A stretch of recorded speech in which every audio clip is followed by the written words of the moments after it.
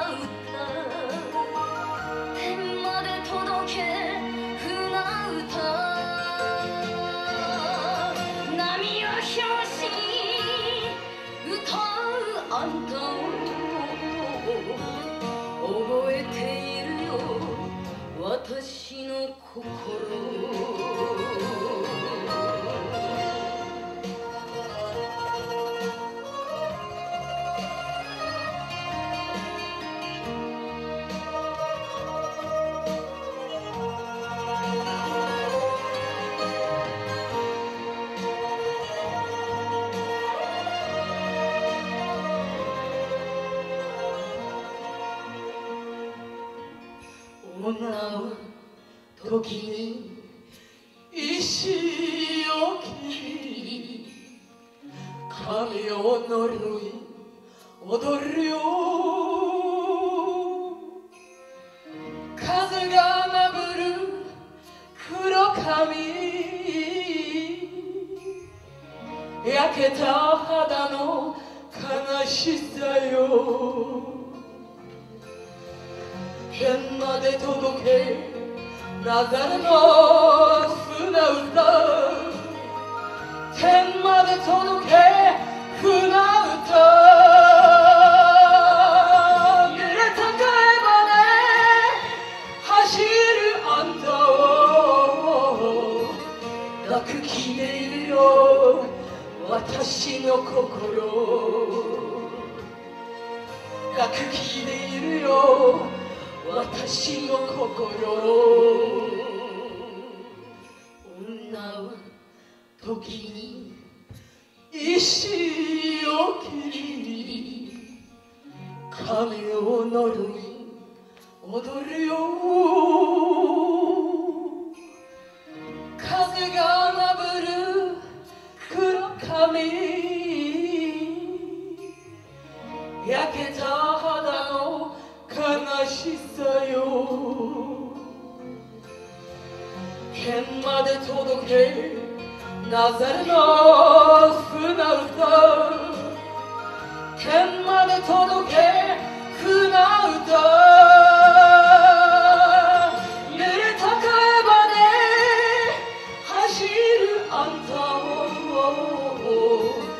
抱く気でいるよ。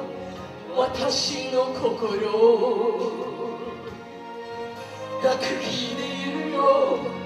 私の心。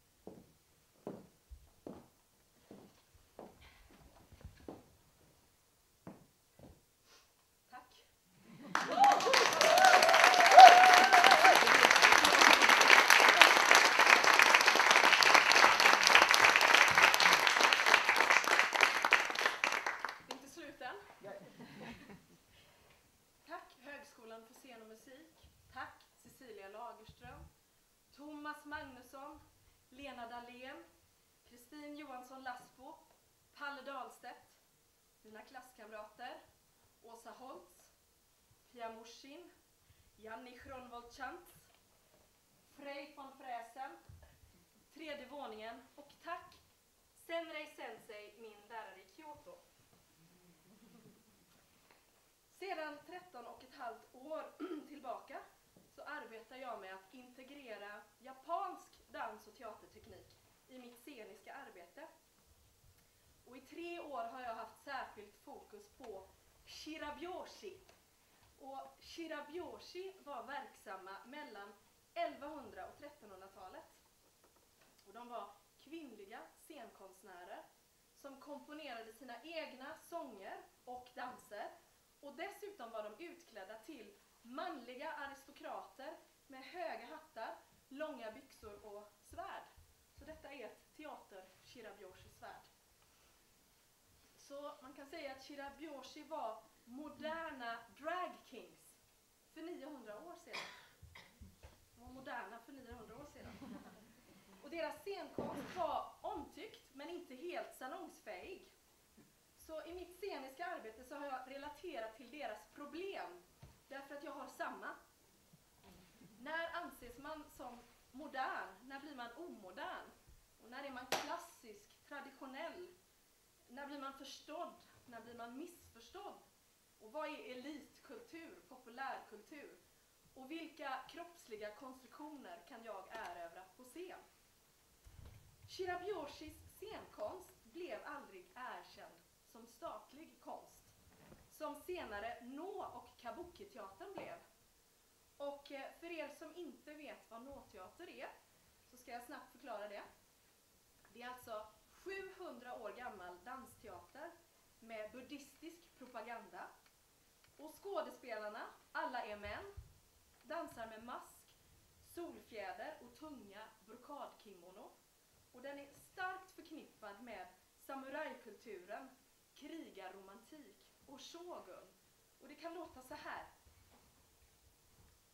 それは静かと申す 平拍子にて候さてもこの旅 statlig konst. Kabuki är 400 år gammal, lite vildare farsteater som skapades av en kvinna men det blev sådan uppståndelse i samhället så att Shogun bannlyste alla kvinnor från scen. Och så kabuki har också bara män i alla roller. Och det kan låta så här. Uminihyosen heiken akata kugani Shirahata!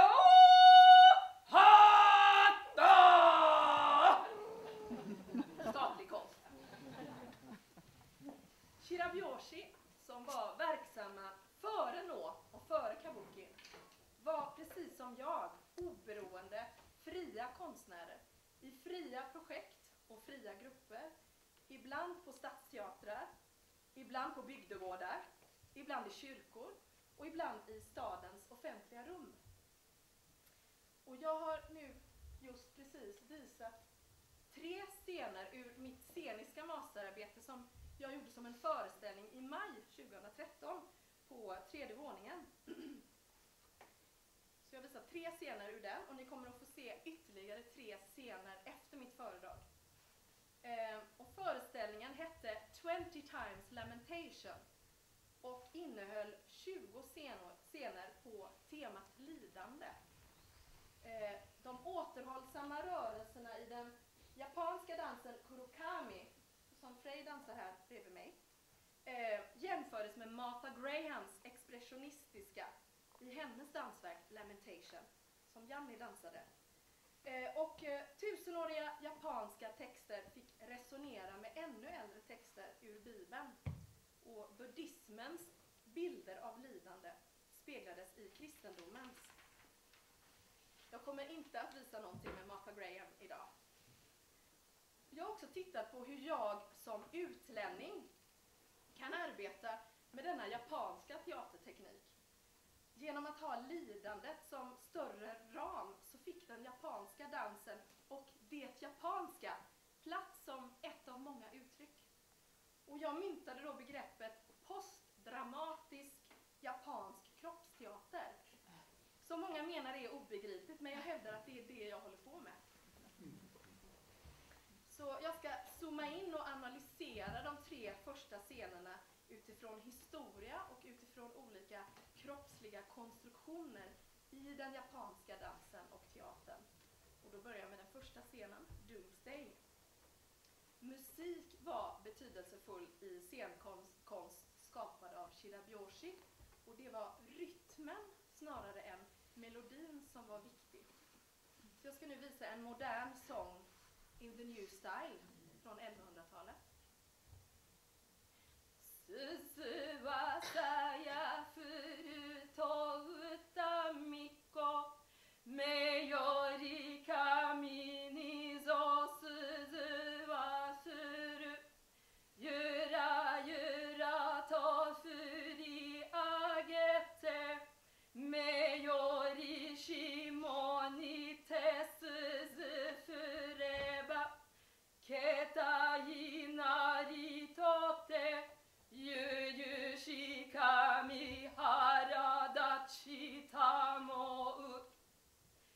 Flera kejsare blev helt besatta av denna musik, trots att den inte ansågs så fin för att rytmen var okonventionell och att den oftare, oftare handlade om människor och framfördes för människor.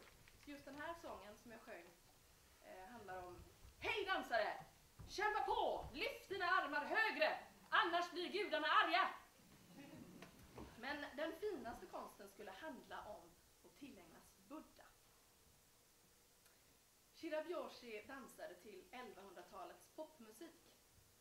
Så jag ville hitta någonting som kunde spegla Shirabyoshi i min samtid och letade efter musik som skulle vara populär men ändå lite samhällsomstörtande. Jag provade med Göteborgspunk, men det funkade inte. Till, till slut så fick jag denna musik som ni hörde i början av min 15-årige son. den heter då Doomsday av Nero som kommer från dataspelet Borderlands 2.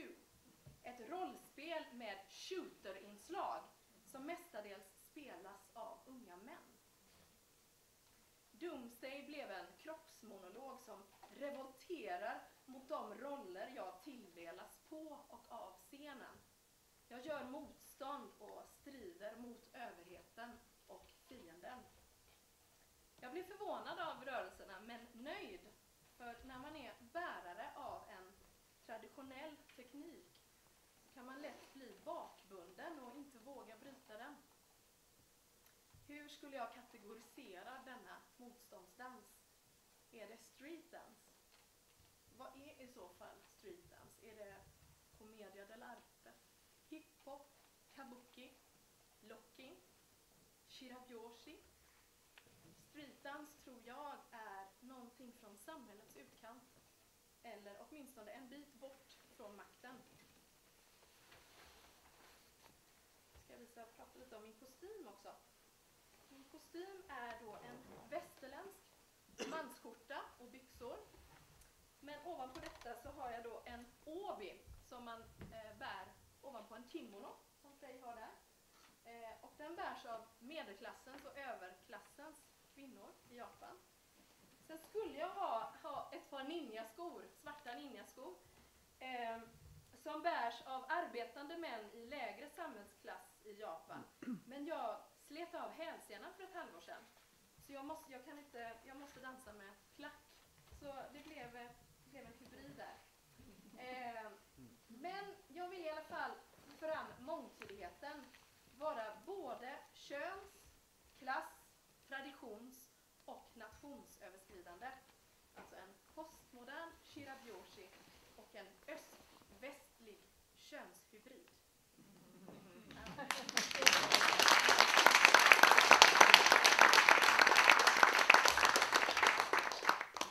Eh, och I scen nummer två så utförde jag delar av en japansk teceremoni.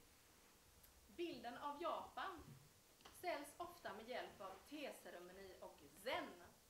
Och jag kan då sätta nationalromantik på scenen som en nationalistisk manifestation och självorientalism. Jag kan visa konstruktionen av den japanska kvinnan och den japanske mannen. Eller det jag egentligen vill göra. Berätta för alla som drömmer om att uppleva en riktig, äkta japansk teceremoni. Hur brutal och uteslutande den kan vara. Så vacker och så brutalt stilla och till synes händelselös. Och stillheten och händelselösheten eh, blir ju även den japanska dansen anklagad för. 2001 träffade jag den svenska ambassadören i Tokyo. Och han berättade för mig att japansk dans är omöjlig att uppskatta. För det finns ingen rörelse, det är helt händelselöst, det är för, det är för stilla. Och år 1921 så skrev Ernest B. Sato i sin bok En diplomat i Japan, en bok som lästes av alla på den tiden. Den dans som utförs av geishor är väldigt ointressant. Deras musik så svår att det bara är att inse att det inte är värt besväret att lyssna. Ingen utlänning, såvida han inte är entusiast, behöver någonsin göra sig besväret försöka lära sig denna konstform. När människor i maktposition förklarar någonting som oviktigt, blir det ofta en sanning. Det finns en risk att hela konstformen, den traditionella japanska scenkonsten, förklaras obetydlig för att man inte kan förstå den eller hitta in i den. Jag gör mig därför till ambassadör för detta stillsamma och till synes oviktiga. Jag vill ge min åsikt om stillheten utan att mytologisera den, utan att påstå att den är hälsobringande eller enastående. Och jag vill förklara stillheten från en praktikers synvinkel. Seisa, som eh, min klasskamrat Frej sitter i här, en nationell kroppsposition, är den mest artiga sittpositionen i Japan som används i dans, kampkonst, zenmeditation, teceremoni men också i vardagsliv. Eh, så nu skulle jag vilja, några frivilliga, frivilliga någon, någon som vill, bara kommer och sätter sig här eh, på knä eh, på golvet. Kom några. Ni kan ta av er skorna. Ja. Eh, men du, eh, det är lite bekvämare för dig, men det kanske är svårt. Testa. Och så han kan ha ansiktet. Ja. Jag kan själv inte sitta i sig så nu på grund av... eh, Okej, ja. Ni kan sitta med näsorna mot mig. Trevligt att ha er så nära. Eh, ja, och då börjar vi med... Jag ska försöka visa trots kaputt hälsena här. Eh, Vi börjar med den kvinnliga seiza, den kvinnliga kroppspositionen. Och då trycker ni ihop eh, låren, knäna, fötterna, hälarna och stäng fingrarna, ha dem på låren. Eh, och för att det här är en kvinnlig seiza så tippar man också bäckenet bakåt. Så det blir som en båge. Dra sedan axlarna bakåt och neråt så att det gör ont. Och nu känner ni, jag ser ju att ni ser väldigt stilla ut, men ni känner själva vad som händer på insidan. Det är allt annat än stilla. Det är väldigt mycket kraft och energi i den här positionen. Och man sitter aldrig här och vilar, det kan man göra. Men ni ska vara redo att gå upp när, någon, när helst någon ber er. Om man tittar på målningar från 1100-talet så ser man att alla kvinnor sitter på knä, så det här var en kvinnlig position från början. Männen satt i skräddare. Så Shirabyoshi satt så här på knä. Men när teceremonin blev populär, då började också männen sitta i seiza. Nu ska vi buga som kvinnor också. Hur är det med trapeziusmuskeln?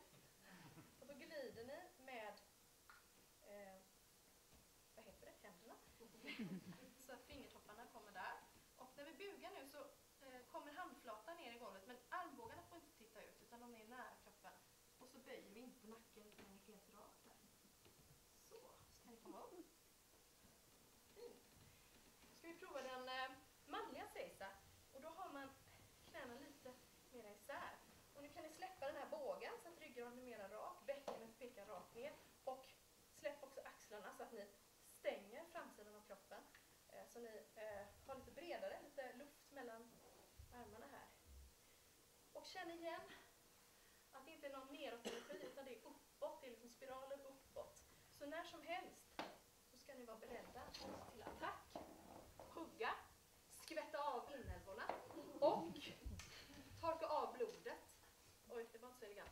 Innan ni sätter i vatten. Svärdet. Så det, man är liksom redo i den här positionen. Och eh, när männen bugar så kan man inte let go av svärdet utan ni har kvar nära svärdet där, vänster hand. Och så bara höger hand fram. Nu har ni rätt att eh, låta armbågen glida ut där, så bugar vi där också. Så. Och så provar vi att buga som shirabyoshi. Då har man kn- knogarna där i. Ja. Jättefint, tack så mycket. Tack för att vila.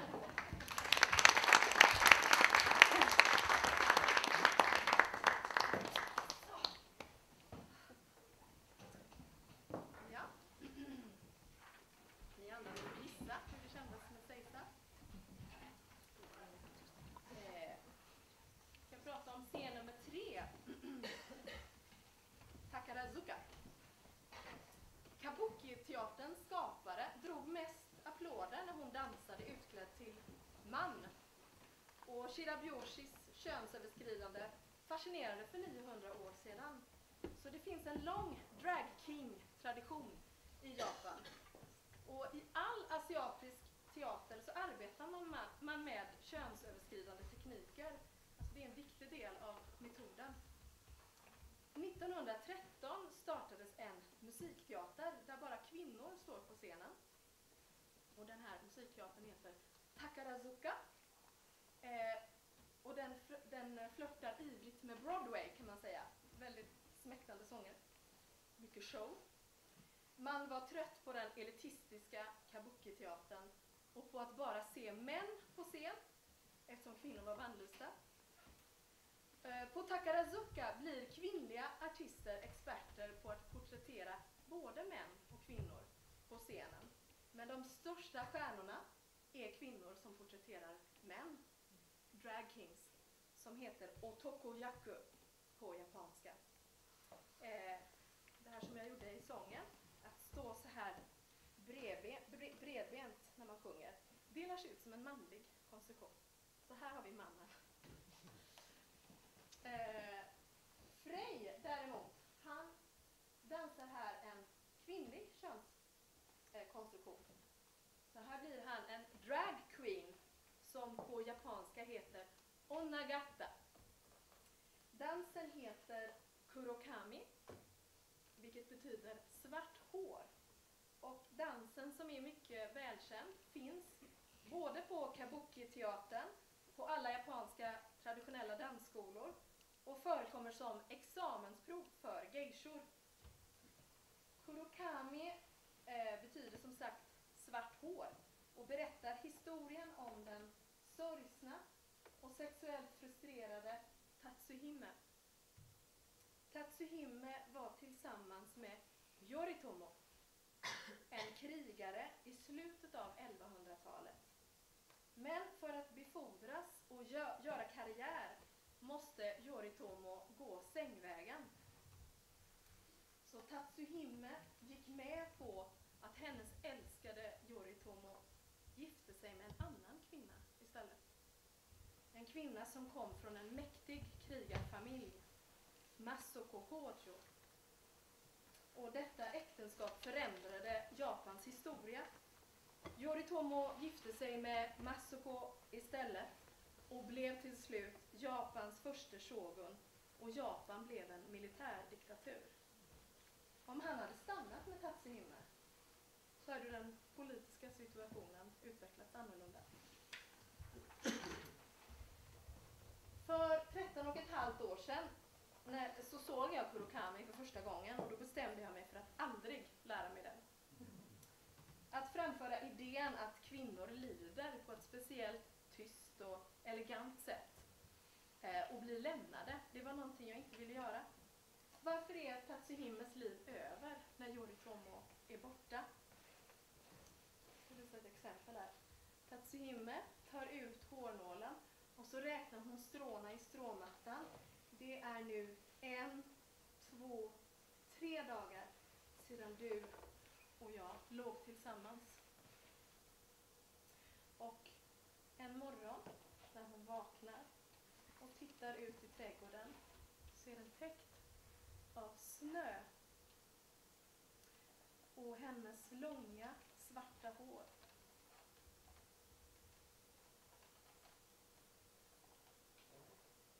har blivit alldeles vitt.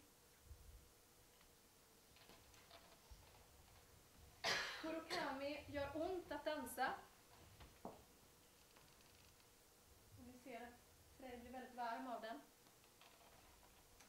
Ni som har provat Seisa vet lite nu hur det känns. För Kurokami kan man säga är den utökade versionen av Seisa.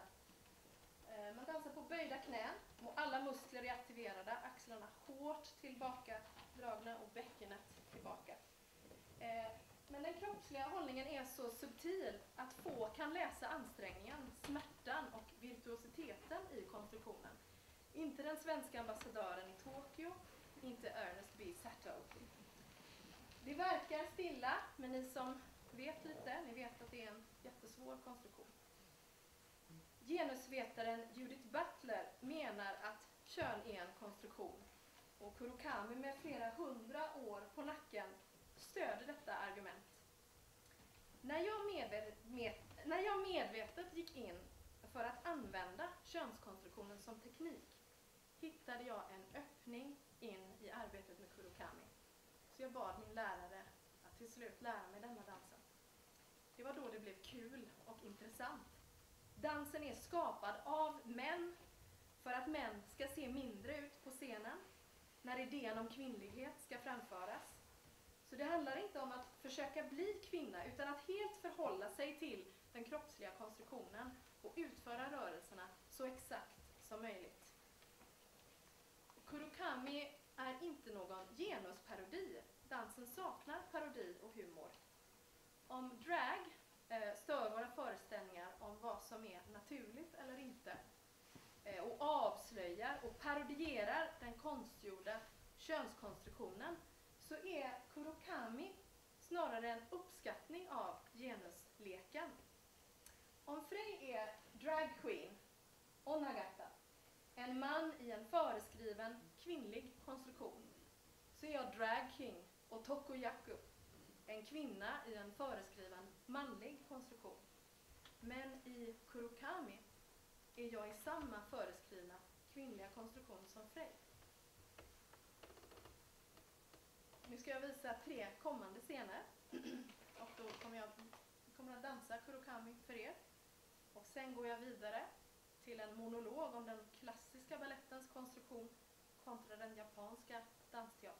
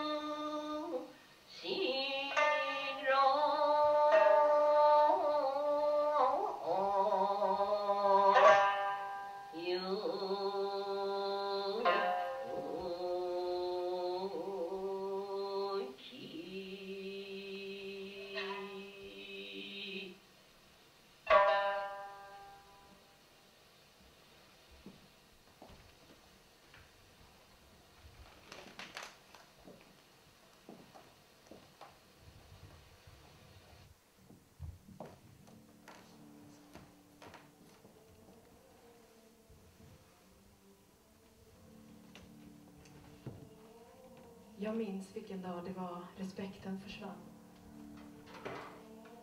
Det var när jag gick i korridoren och upptäckte att ingen hälsade på mig. Det var när jag slutade vrida ut mina höfter och började gå parallellt, liksom släpigt, men inte utan precision. Det var när jag slutade lyfta min navel, slutade förlänga min nacke och slutade tro att jag hängde i en tråd från himmelen.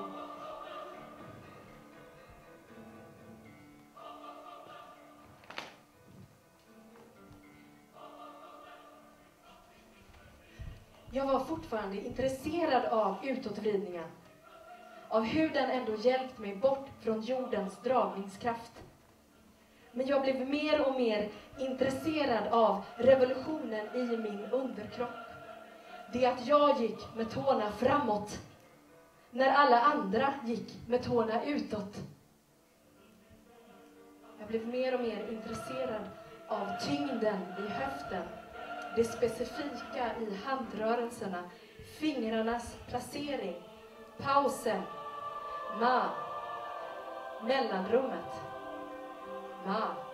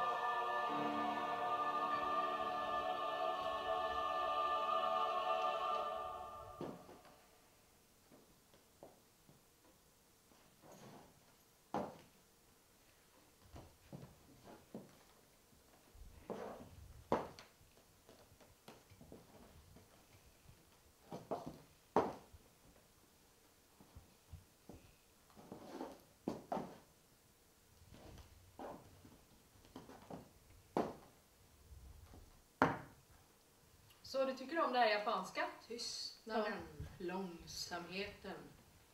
Ja. Ma. Men du har ju inte ma. Gillar du zen också?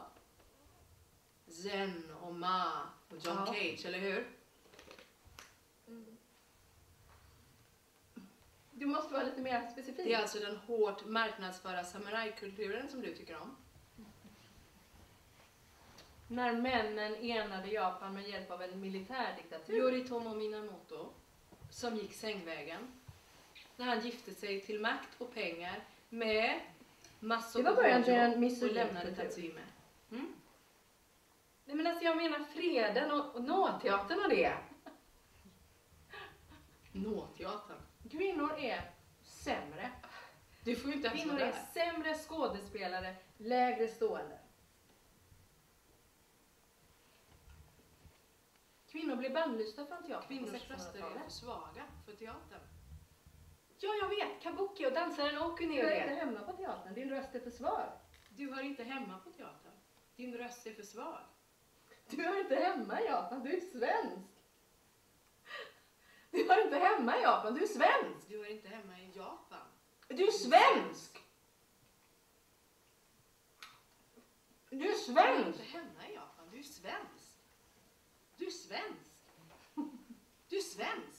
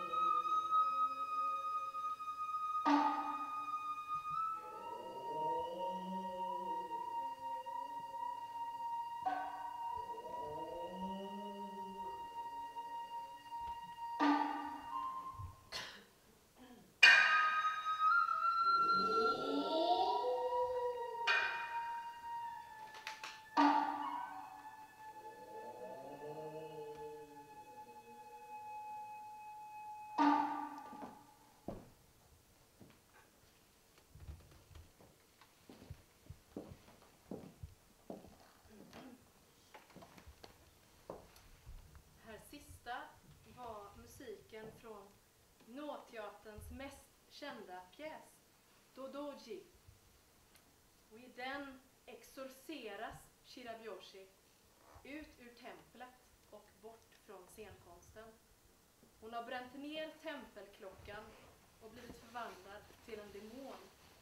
Och hon backar ut medan de buddhistiska prästerna gnider sina radband emot henne.